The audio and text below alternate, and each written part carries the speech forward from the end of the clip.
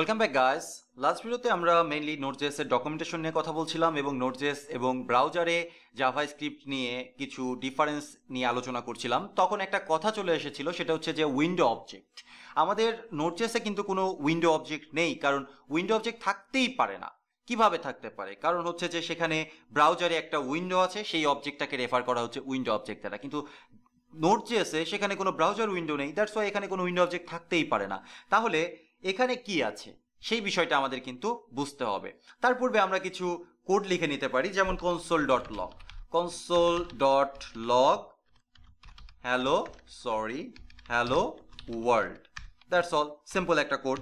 Hello world code আমরা সবাই এই কোডটা লিখতে পারি এবং আমরা যদি আমাদের টার্মিনালটা ওপেন করি, আগে দেখে নেবেন যে আপনি সেম ডিরেক্টরিতে আছেন কিনা পিডাব্লিউডি যেই ডিরেক্টরিতে আপনার কোডটা আপনি লিখেছেন, সেই ডিরেক্টরিতে আছেন কিনা, তারপরে এলএস কমান্ড দিয়ে দেখবেন যে আপনার এই ফাইলটা আছে কিনা, যে ফাইলটাতে আপনি কোড করেছেন। আমি যেই ফাইলটাতে এই কোডটা লিখেছি, সেটা হচ্ছে গ্লোবাল জেস দেখতে পাচ্ছি আমার এলএস কমান্ড দিলে গ্লোবাল জেসটা দেখাচ্ছে। সো আমি এখন কমান্ড দিতে পারি Node global JS okay enter করলে দেখব যে হ্যালো ওয়ার্ল্ড প্রিন্ট আউট করছে।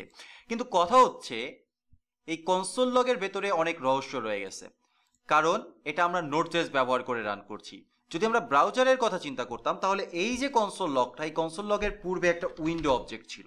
উইন্ডো ডট কনসোল লগ এটা ছিল সঠিক ভাষ্য। কারণ হচ্ছে আমাদের নর্মালি যদি কোনো ভ্যারিয়েবল ডিক্লেয়ার করি বা আমরা যদি কোনো ফাংশন ডিক্লেয়ার করি, তাহলে সেগুলো আমরা পেয়ে থাকি উইন্ডো অবজেক্টের সাথে বা অটোমেটিক্যালি উইন্ডো অবজেক্টের সাথে অ্যাটাচও হয়ে যায়, তাই না? তো সেই হিসাবে কনসোল লগের উইন্ডো অবজেক্টের সাথে অ্যাটাচড হয়ে যাওয়ার কথা ছিল। কিন্তু নোটজেসে তো উইন্ডো অবজেক্ট নেই, তাহলে এটা কোথা থেকে আসলো? তারপরে আবার আরেকটা এক্সাম্পল আসা যাক, সেটা হচ্ছে সেট টাইম আউট বা সেট ইন্টারভাল দেখা যাক সেট টাইম আউটটা কাজ করে কিনা। এখানে একটা কল ব্যাক ফাংশন দিতে হয় আর্গুমেন্ট আকারে। সো আমি এখানে একটা কনসোল দিলাম।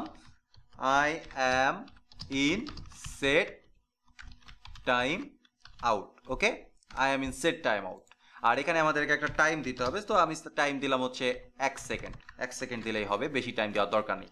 সো আমি আবারও আমাদের নোট গ্লোবাল জেস কমান্ডটাকে রান করলাম এবং দেখছি এক সেকেন্ড ওয়েট করার পরেই এই সেট টাইম আউটটা কল হচ্ছে। এবং এই সেট টাইম আউট ফাংশনটাও আসার কথা অবজেক্ট হিসাবে মানে মেথড হিসাবে উইন্ডো অবজেক্টের সাথে অ্যাটাচড হওয়া একটা মেথড হিসাবে। কিন্তু এখানে তো উইন্ডো অবজেক্ট নেই। তাহলে সেট টাইম আউট কার সাথে অ্যাটাচড অবস্থায় আছে?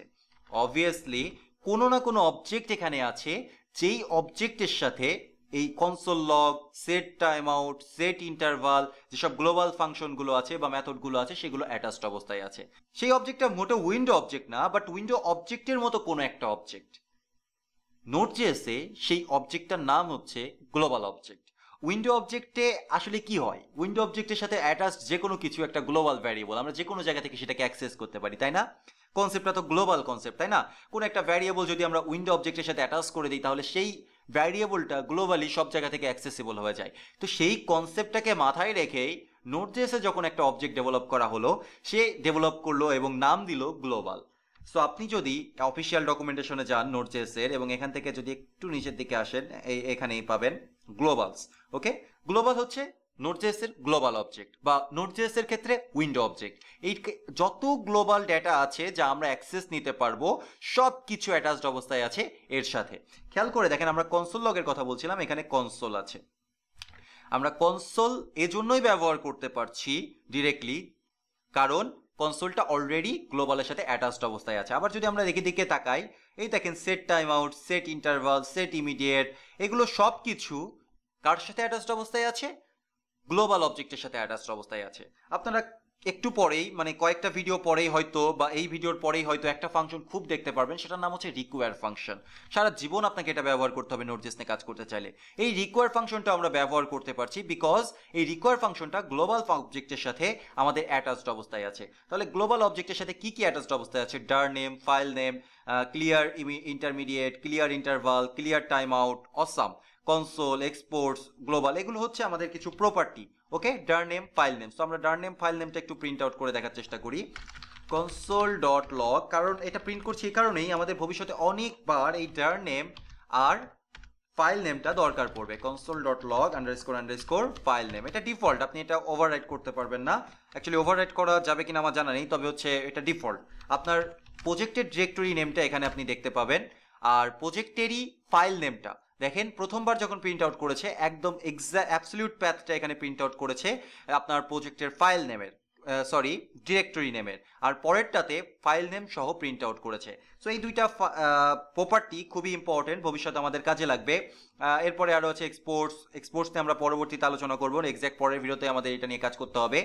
তারপরে আরও কিছু ব্যাপার স্যাপার আছে, এর ভিতরে একটা ইম্পর্টেন্ট ব্যাপার আছে প্রসেস প্রসেস খুবই ইম্পর্টেন্ট একটা অবজেক্ট এই মানে যেমন উইন্ডো অবজেক্টের একটা ইম্পর্টেন্ট অবজেক্ট হচ্ছে ডকুমেন্ট ঠিক তেমনি গ্লোবাল অবজেক্টের একটা ইম্পর্টেন্ট অবজেক্ট হচ্ছে প্রসেস তো প্রসেস নিয়ে আমরা পরবর্তী তার একটা ভিডিওতে কথা বলব।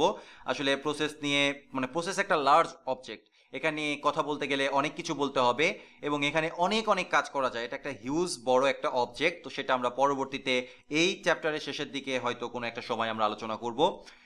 সো আমরা প্রসেসের কথা বাদ দিই, তার বাদে আর কি কি আছে এখানে দেখেন গ্লোবাল মডিউল অনেক কিছু আছে।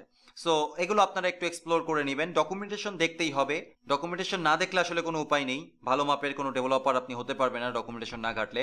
সো এবার আমরা চলে যাই আলাদা একটা কনসেপ্টে সেই কনসেপ্টটার জন্য আমাদের একটু ব্রাউজারেরও সাহায্য লাগবে।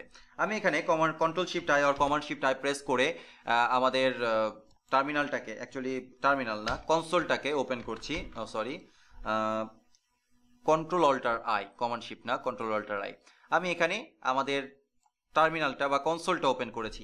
সো এখন আমি যদি একটা ভ্যারিয়েবল ডিক্লেয়ার করি, var A is equal to ten var var দরকার নেই, আমি একটা ফাংশন ডিক্লেয়ার করলাম ফাংশন টেস্ট এটা একটা টেস্ট ফাংশন যার ভিতরে কিচ্ছু নেই ওকে সো এখন যদি আমি লিখি উইন্ডো ডট এ এটা কি আমাকে ভ্যালুটা দিবে না? অবশ্যই দিবে। দেখতে পাচ্ছেন আপনারা যে উইন্ডো ডট এর ভ্যালু হচ্ছে টেন কারণ আমরা নর্মালি যে ভ্যারিয়েবলই ডিক্লেয়ার করি না কেন, সেটা অটোমেটিক্যালি উইন্ডো অবজেক্টের সাথে অ্যাটাচড অবস্থায় অ্যাটাচড হয়ে যায়। এরপরে আমরা যদি লিখি উইন্ডো ডট টেস্ট এটাও আমাকে একটা ফাংশন দিচ্ছে এবং যেটা মূলত এই ফাংশনটা এবং যেটা মেনলি কিছু নেই এর ভেতরে। যদি কোনো কিছু ডিক্লারেশন থাকতো, তাহলে সেটা এক্সিকিউট করতো।